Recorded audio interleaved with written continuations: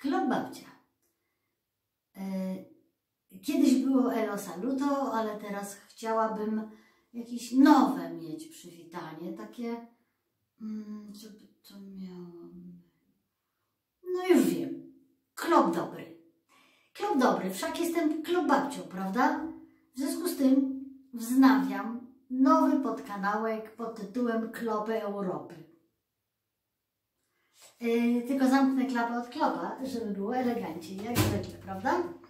Otóż dzisiaj pokażę Wam dwa europejskie klopy duńskie. Pierwszy europejski klop duński będzie z miasta stołecznego duńskiego Kopenhaga, a drugi klop europejski duński będzie z miasteczka pod Kopenhagą, pisze się Dragor z takim o przekreślonym. Natomiast jak się wymawia, to niestety nie powiem Wam. To musicie spytać Duńczyka. Także proszę bardzo. Et voilà. Znajduję się w klopie europejskim, w hotelu duńskim w Kopenhadze, w hotelu Imperial. I pokażę Wam, jak w tym imperialistycznym klopie spuszczamy wodę. Tym razem klapę od klopa podnosimy. Nie dlatego, żeby było mniej elegancko, tylko dlatego, żebyście zobaczyli tutaj pewne przedstawienie.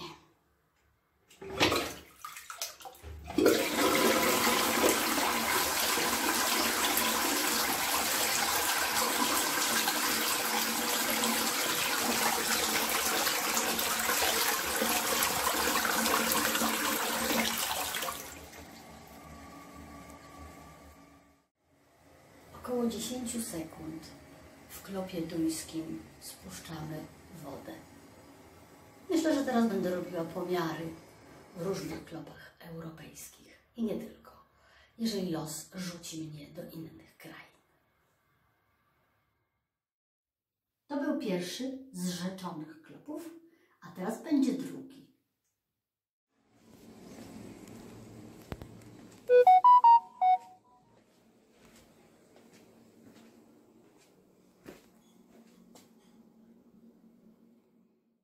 Znajduję się w klopie europejskim, duńskim. E, Przy knajpeczce jest ten klop. Zaraz zrobimy próbę spuszczania wody.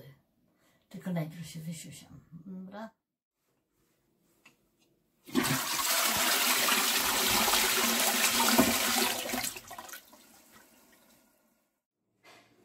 No, myk, myk. I w tym klubie spuściło się bardzo szybciutko. Ale może dlatego, że jesteśmy pod Kopenhagą.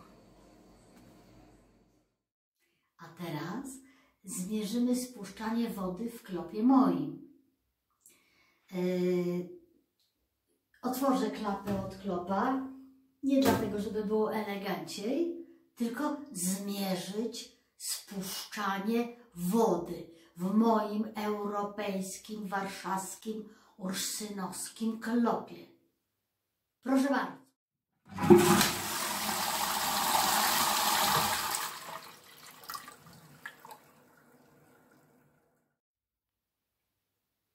No, chyba wygrałam challenge, nie?